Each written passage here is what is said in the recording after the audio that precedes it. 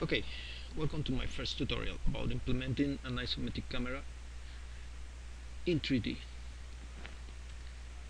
Let's start by creating a node.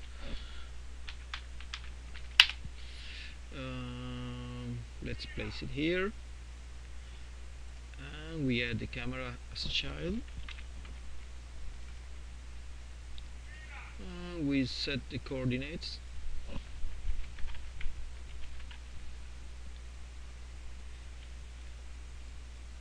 and the angle. With a rotation of minus 45 degrees. The isometric camera is like 45 degrees. I prefer to use orthogonal. You can use the perspective projection like Divinity Original Sin does. But I prefer orthogonal. Now we can check here and you as you can see there is nothing in the camera because we have to fix this. Okay and size.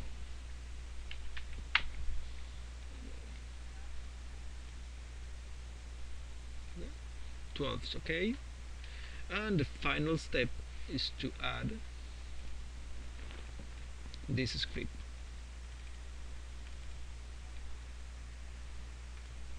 Okay this script takes input the mouse and keyboard input and rotates the camera or scroll the camera according as you can see.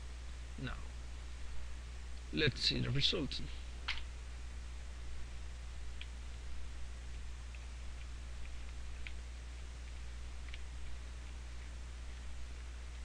and it is done that's all for today. Thank you for watching